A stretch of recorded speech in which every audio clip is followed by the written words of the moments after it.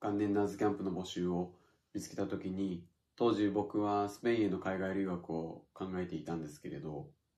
第一に育成カテゴリーとより学びの幅を広げるためにそのクラブのトップチームプロカテゴリーを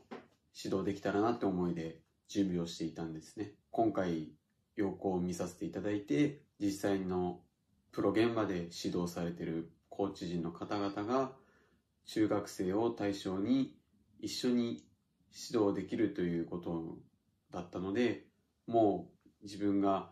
学びたい当時学びたかったことがここに全部詰まってるんじゃないかという思いで早速応募させていただきました。まず構成として各グループにプロコーチ陣たちが分かれていただいてそこに我々指導者も人数均等になるように分かれていく。そのセッションでやりたいことを話し合って現場に行って指導してでまた帰ってきてその振り返りをする。その指導現場も一人がずっとヘッドコーチをするのではなくて交代交代でヘッドコーチアシスタントコーチを回していく。やっぱここでこう同じ指導をするのにそれがヘッドコーチから何を伝えなきゃいけないのか。またはアシスタントコーチからどういうことを注意しなきゃいけないのか。っていうことを毎回毎回やっていくことですごい自分自身考えにもなりましたしその振り返りの時にも、えー、共有良かったところ悪かったところお互いアドバイスし合ってまたその直後にまた現場で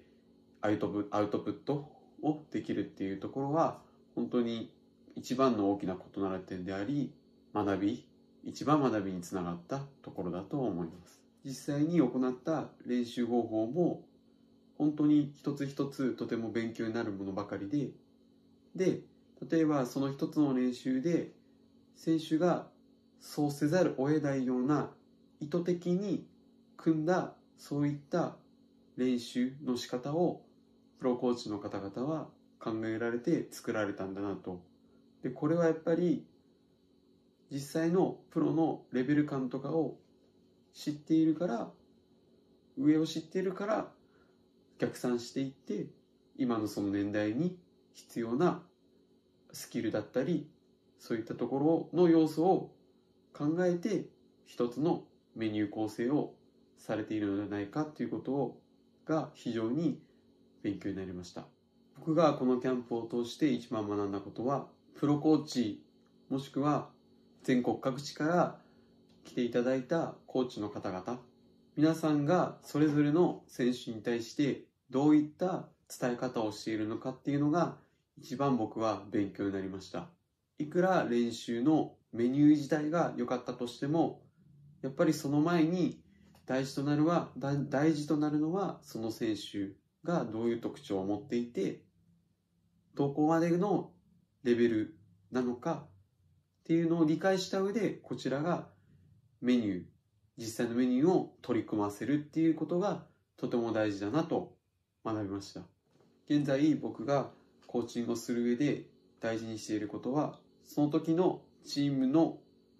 チームとして課題としていることをもとにメニューを作るのはもちろんですけれどそれ以前にじゃあそのメニュー一つに対してそれぞれ選手それぞれの選手が何を課題視しているのかそこまで見るようにして普段コーチングに取り組んでいます。選手が何を考えていて何を思っているのかその一つのメニューで思うことは選手それぞれ違うことであってやっぱりそれは普段コーチである僕が選手一人一人とコミュニケーションを取ることももちろん大事ですし実際の練習中も細部まで見る。そこまで見ることによってまたそれで次の練習に生かせるのではないかということを意識して取り組んでいます。